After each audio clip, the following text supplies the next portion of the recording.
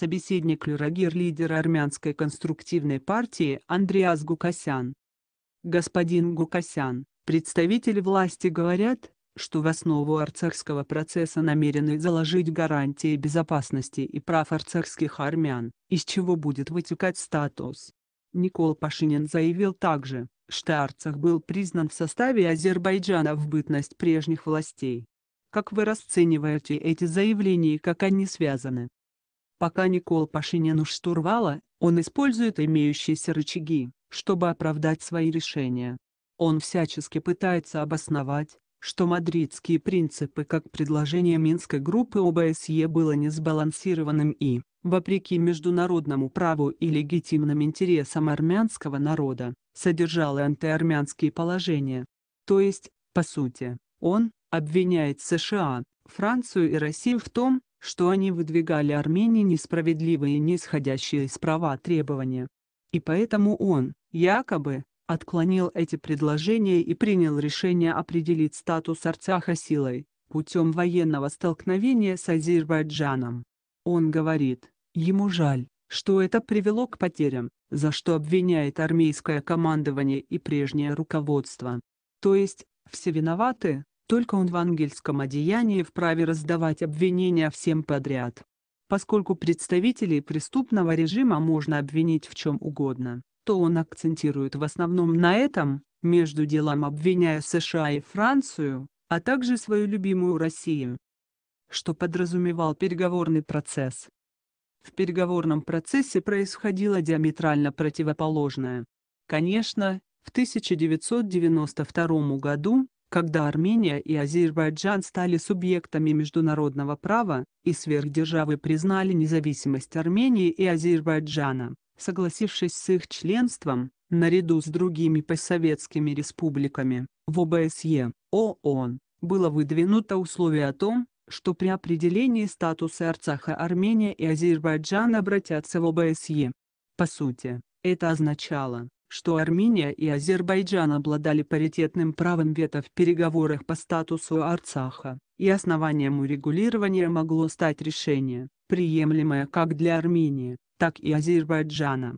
Армения воспользовалась своим правом вето, все помнят, как на Лиссабонском саммите в 1994 году, когда ОБСЕ предложила широкую автономию Арцаха в составе Азербайджана, Армения отклонила это предложение. Впоследствии переговоры в рамках Минского процесса проходили различные этапы, и если в 1990-х делались различные предложения, подразумевающие статус Арцаха в составе Азербайджана, то потом, когда выяснилось, что такое решение невозможно, в этом формате сформировалось представление о том, что Арцах должен отделиться от Азербайджана. Тогда и появилось предложение в Киуесте, обмен территориями.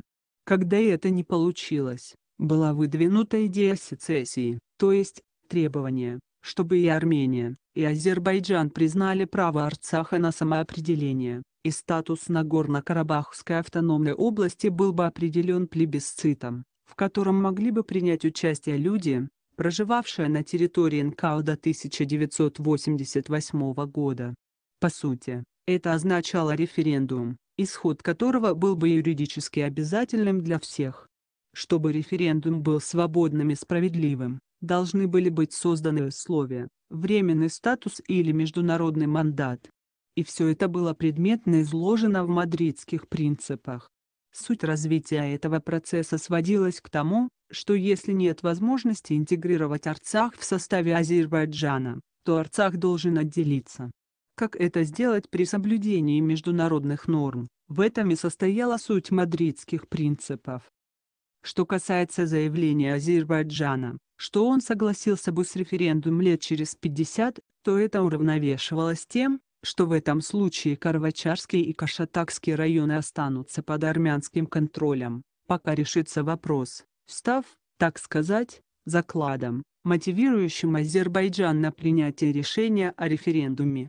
Но очевидно, что, согласившись с мадридскими принципами, Азербайджан подспудно согласился с СССР Арцаха. То, что власть Никола Пашиняна выбрала другой сценарий и пошла военным путем, не имеет отношения к процессу в рамках Минской группы. Это следствие выработанного Пашиняном и руководством России плана.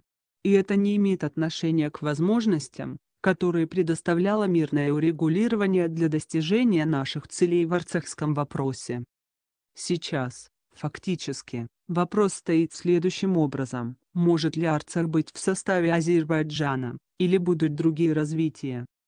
Совместный план Пашиняна и России подразумевал провоцирование войны в Арцахе и решение вопроса статуса военным путем, что связано с намерением создания союзного государства.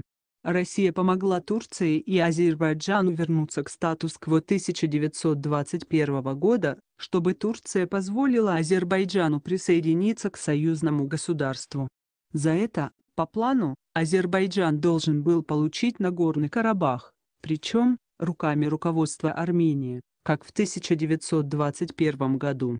Турция получает то, что Армения, присоединяясь к союзному государству, делегирует России вопрос армянских претензий к Турции, то есть отказывается от реституции. Этот план Россия намеревалась провернуть на Кавказе, назначив силой в Украине лояльную себе власть и включив Украину в состав союзного государства. Но уже ясно, что вторжение в Украину к таким результатам не приведет. Сменить власть силой в Украине невозможно, а союзное государство без Украины не имеет смысла. И международная изоляция, в которой оказалась Россия, также не позволяет России вовлечь в союзное государство Армению и Азербайджан. Так что, план по включению Арцаха в Азербайджан также утерял заказчика. Армянское руководство все еще пляшет под дудку российского плана, но из Москвы уже звучит не та музыка. Думаю, Сейчас наступил переходный этап с туманным будущим. Все, что связывается с внешнеполитическими планами России, нуждается в пересмотре и ревизии. Планы по включению Армении и Азербайджана в союзное государство также разваливаются. И уже от воли армянского народа зависит ход дальнейших развитий.